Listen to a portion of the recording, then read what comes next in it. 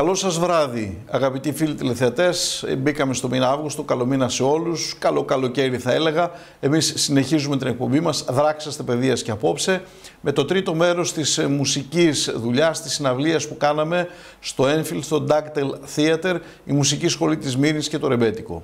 Θέλω να ευχαριστήσω τον Βασίλη Παναγή με το Actors Theater και την Κατερίνα Τιμπαροτσάκη για τις εισαγωγές μεταξύ των τραγουδιών τον Νίκο τον Παπακώστα, στον οποίο ήταν και αφιερωμένη εκδήλωση μέσω του βιβλίου του «Η Μουσική Σχολή της Μήνης και το Ρεμπέτικο», ο οποίος έπαιξε και κιθάρα στην συνέχεια για μας. Το Μάνα τον Πατακώστα κρουστά, τον Νίκο τον Γιάρκα στο λαούτο, τη Μαρία στο βιολί, τον Νίκο τον Οικομάνη στο πιάνο και τον Γιάννη τον Πολυκανδρέωτη που μας υποστηρίζει όλα αυτά τα χρόνια με την ε, μουσική του και τον μπουζούκι του.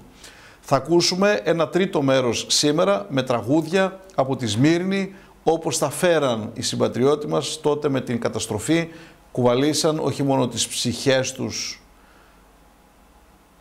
αλλά φέραν μαζί τους τα τραγούδια, ένα διαφορετικό είδος τραγουδιών, το οποίο έχει κυριαρχήσει και σώζεται σήμερα, ε, έχει σχέση με το ρεμπέτικο, όχι με το ρεμπέτικο αυτό που δημιουργήθηκε βέβαια στην Αθήνα σε μια εποχή που το απαγορέψαν κιόλας, αλλά στη μορφή του αυτή που είναι ένα διαμάντι μέσα στην όλη ελληνική μουσική. Ας παρακολουθήσουμε λοιπόν το τρίτο μέρος, ευχαριστώντας και πάλι το Hellenic TV και το Γιώργο το Λίγκο.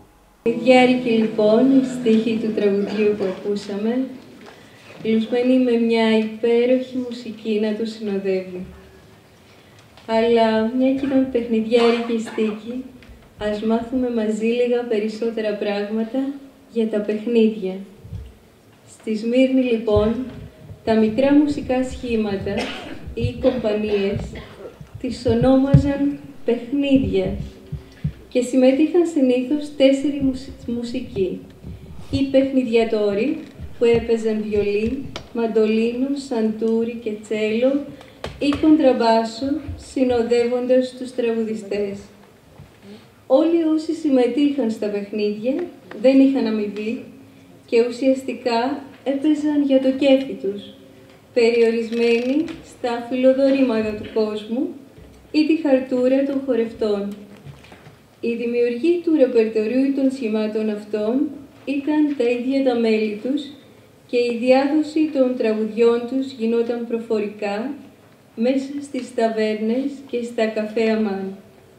Έτσι σιγά σιγά, με την πάροδο του χρόνου, τα περισσότερα από αυτά χαρακτηρίζονταν σαν αδέσποτα ή παραδοσιακά αρκετοί μικρασιάτες που επέζησαν μετά το 1922 και έφτασαν στην Ελλάδα, συνέχισαν να λειτουργούν και πάλι σαν παρέες.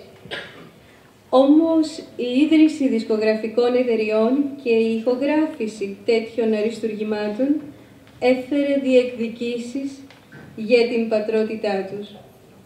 Κάτι τέτοιο ήταν φυσικό, αφού το ποιος ή ποιοι ήταν η πραγματική δημιουργή ήταν εξαιρετικά δύσκολο να προσδιοριστεί.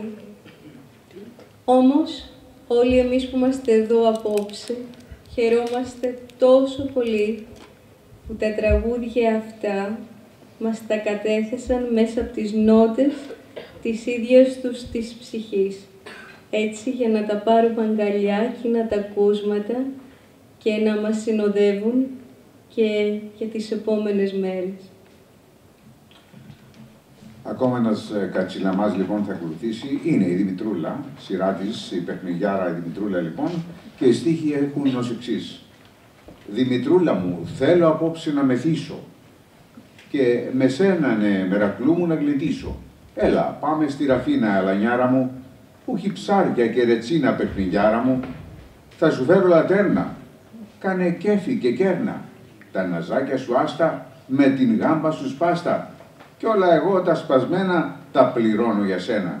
Δημητρούλα μου, τράβα ένα κρασάκι ακόμα, βάρ το κούκλα μου το ποτήρι στο στόμα, ρούφα ακόμα μια ρετσίνα να μεθύσουμε και το βράδυ βρετσακπίνα θα γλεντήσουμε. Θα σου φέρω ταβέρνα.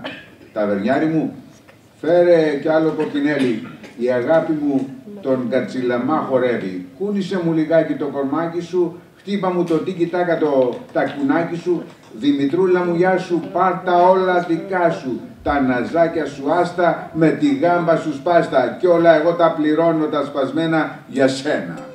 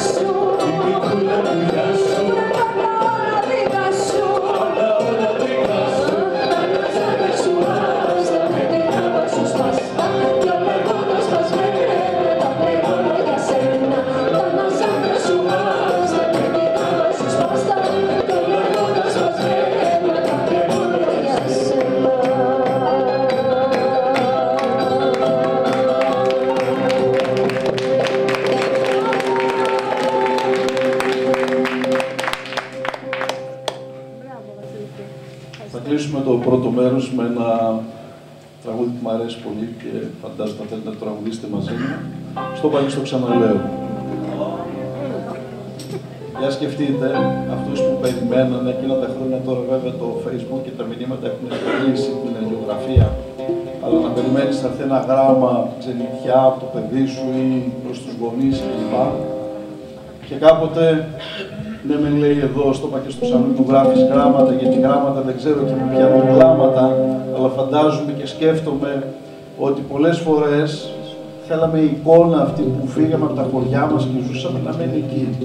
Και θέλαμε με τα νέα, αλλά δεν μας ενδιαφέραν και τόσο, γιατί θέλαμε να ξέρουμε το χωριό μας, την πλατεία μας, τη μάνα μας, τον πατέρα μας, τα αδέρφια μας, όπως τους αφήσαμε. Αυτές είναι οι εικόνες, αυτά ζούμε. Και σας ευχαριστώ πολύ.